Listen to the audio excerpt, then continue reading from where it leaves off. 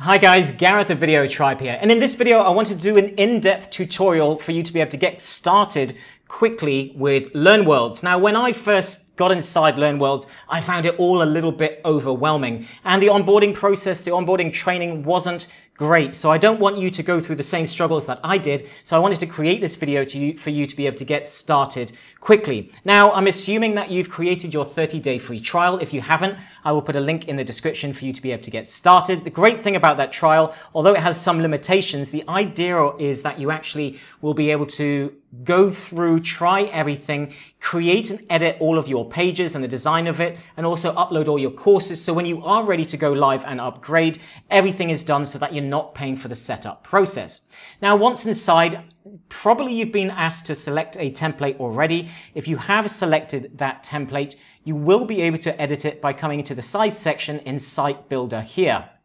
Now you can come down to Site Flavors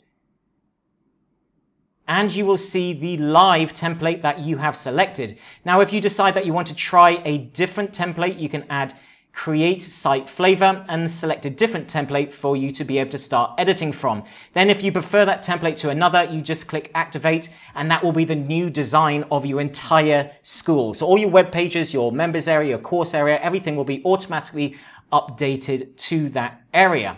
Now, if we go into edit school here, you'll automatically be taken to the page editor where you can edit all of your pages that have already been pre-populated. So if you come to this drop down here, you'll see that you've got your course pages, if you've created any courses yet, which we're going to get to next, all of your sales page, your about page, your contact page, all of these pages have automatically been created for you and you can also go into manage pages and delete any of them if you don't want them. Now, for the sake of getting started quickly, I recommend that you stick to the template edit all the pages that you actually want to keep and remove the rest of them.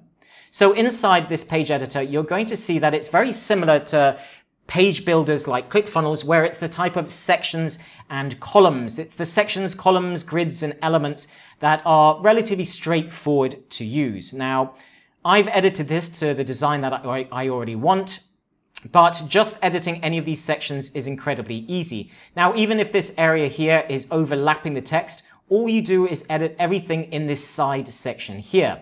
So for example, if I wanted to say change the color of this text, I could go into change the background, apply, make it bold, and then suddenly I've got some text that is standing out more. I can also change the, the, the, text type, the text size. I can change it to a larger heading if I want, or if I want to make it header 2 or header 1 or a paragraph size, I can change all of that here. I can also go into actions, and if something happens on click, I can make sure that if someone clicks this, perhaps I want it to display a pop-up, take someone to a blog post, or do anything else. So the great thing about LearnWorlds is everything is inside. Your blog posts, your courses, your web pages, they are all linked inside, and you can actually get everybody to navigate everything going to different pages and different elements.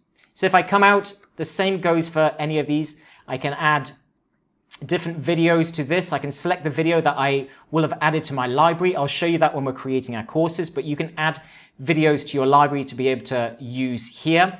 You can also select and change it to images, or you can edit the layout here. Now, I pre-built this one, so it's showing me different ones, but normally it would show you a number of different templates that you can automatically use. So if I go to add section, you've got all of these different elements that you can add, which are lots of pre-built designed for you elements. So even if you don't like the template, you could quickly design your own pages and add sections that are already created for you and are going to change color based on the design of your page. So you can go into the, the theme editor here and change any of the, the colors and typography, buttons and layout for the entire theme itself just from here.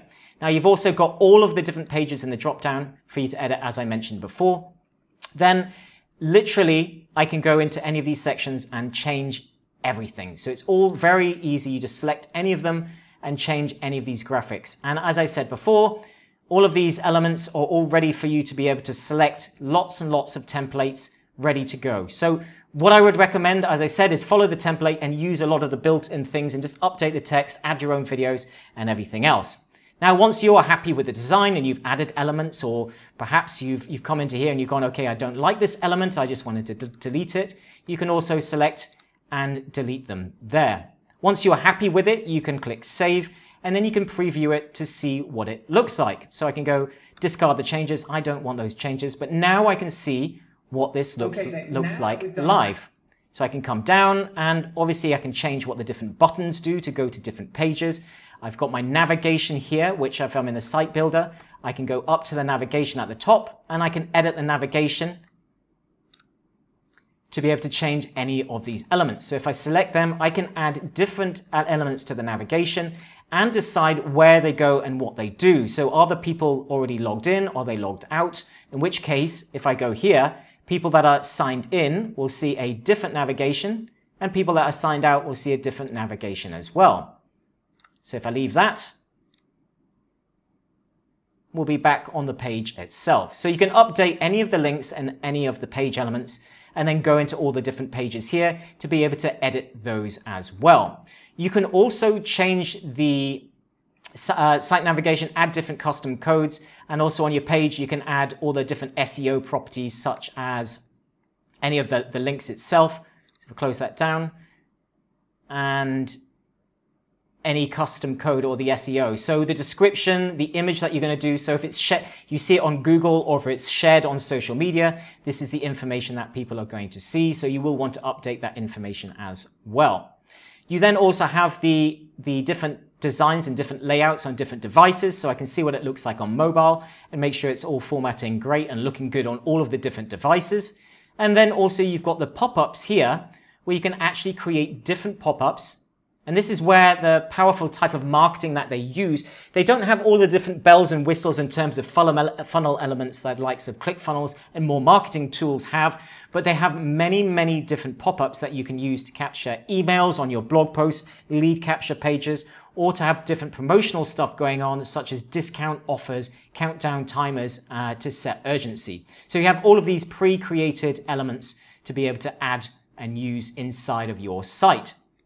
Once done and you're happy with the design, click to exit. Now I'm just going to discard that. And then you're then going to want to come into your courses. Now, when you're ready to upgrade, you can perhaps start to add your blog posts. You can do those now, but in order to change your domain, you're going to have to upgrade to one of the paid packages. So just get everything else ready before you're ready to add your custom domain. But you can also then change your sign up form to be able to decide what's going to be on the sign up form uh, for, for when people actually click to sign up to your, your courses or to log in. So this is where you would be able to change that as well. So we go back, we can now go into courses and you're going to want to create a course. Give this a name and then click next. Decide if the URL is okay. I'm going to leave that as is and go next. Decide if it's going to be a paid, paid course uh, draft coming soon. It's a free course or it's going to be private. Decide on the price. So I'll just put, say, $97. Do you want a discount that people are going to be shown? I'm going to click yes. So I'm going to add $67 and you'll be able to see what that looks like in just a moment. Come across, you can add the image that will be shown at the top on the graphic here. And you can also add a description. So I can go test description and you'll see that that comes out below. And then you'll also see that the discount shows here as well. And this is automatically going to show up on a lot of the automated elements. So the great thing about LearnWorlds is it's going to automatically update most of that information across your site and populate it straight away. So if we go next, decide if you want your course to be drip fed. I'm going to click finish. And then you're going to see your course has been added here. Now you've got the layout where you can update the page itself. Again, I would just work from the template itself, click edit, and just like editing the other page, I can update all of these different sections and design, change the image, perhaps add a video. These buttons will automatically see automatic system button. That means you don't need to change anything, although if I wanted to, I could change the design and color slightly, and these will automatically go to the sales page for this particular course. Scroll down, again, I can update all of this information. And then also this section here will automatically update as you fill out your course. So as you fill out the course with content, this will automatically update. So if I come back to the top and then I go exit, we can start to look at adding some content. Now, what I would do first is I would go to the video library and I would start to upload videos that you can add here. Because then what you're going to be able to do is come across to contents where you're actually going to start to build out your course. So I could go this section, I could call it section one. I'm going to make it as paid. So I can obviously set it if I want this section to be a free section that people can get access to if I'm giving them free access to my school. I'm going to go paid for this because I only want people to have access if they've paid for the course and go through and that will automatically add it. I can then add activities such as videos and then I could go test video, click save, and then I could add a video here from selecting it from the members area. So if I had uploaded a video, I would have options to be able to select from here, and then I could add that video into the system itself. You could also then add different activities such as ebooks. Now, something I have noticed is that if you have a video section, you can't add text below it, but you can add text in, into the interactive part of the videos, which we're going to get to next. But if you do want to add, say, pages, then you could actually create an ebook, and that ebook basically formats very much like a web page, but you can actually build out a free ebook if you wanted to give them away or free book ebook, ebook se sections that, but these can actually look like normal pages. So if you need to add text, we can say, okay, I'm going to go and edit this. And it's very much just a normal sort of document builder where I can start to build out the different sections. And we can say, okay, now I'm going to add this. So if you have a PDF or you have a Word document, you could literally just paste it into here and then that would automatically format and you can have a page that people can actually view. You can also then add PDFs, which will actually stay inside the system, link to YouTube videos, SoundCloud, audios, and you can add live sessions, questionnaires, certificates, and many, many other different things here that people can get as you're working through it. You can edit the access here as we've got paid. I can again edit all the settings that I was setting up at the start. I can change the pricing here. And in the settings, I can update the design of this if I want, add the author's name, add an image of the author, and check that the description looks good here as well, it for what's going to show up on Google itself. I can also change the course player to see what it's going to look like. Now, the great thing here is that the course player has many different designs. So I can select the classic course player, which is the one I actually like, or a minimal course player. I can then view that course player. So for the sake of this, I'm going to go into one of my other courses. So you're going to be able to see what this looks like when the course is filled out. So as you can see, I scroll down in this one and all of the content has automatically been filled out because this course now has content. As you can see, all the updated content is here. And when I added the videos, they are all showing here. So I can just add any of those and they play lightning fast. They're really, really, the load time and everything of LearnWorlds is absolutely fantastic. So let's preview this course player. Let's have a look and see what it looks like. Well, as you can see, it looks a lot like the type of Udemy type of sites and also the type of more advanced builders out there. So it's got all of the different columns and all of the different information here laid out as you would expect, along with discussions where people can ask questions automatically, and that's going to link to the community itself as well. So we go back to the course player page. Let's go back into the members area here.